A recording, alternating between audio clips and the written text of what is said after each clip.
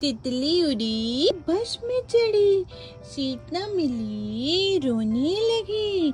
Murphy ने बोला, आजा मेरे पास। तितली बोली गर गर बदमा